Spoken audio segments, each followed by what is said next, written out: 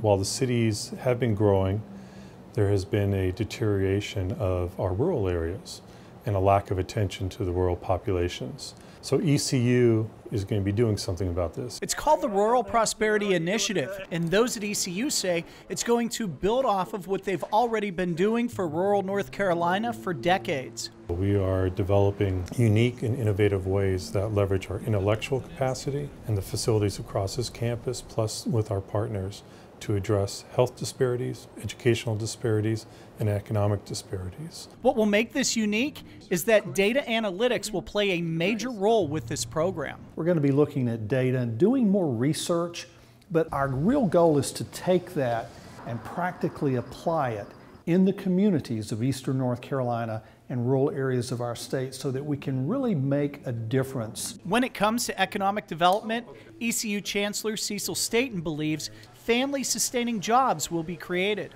For example, we're looking at creating a center that will focus on using the byproducts uh, of agribusiness uh, that might be used in packaging, creative packaging for pharmaceutical industry, which also has a large presence here. We're focused on doing things in this region that'll result in jobs and investment.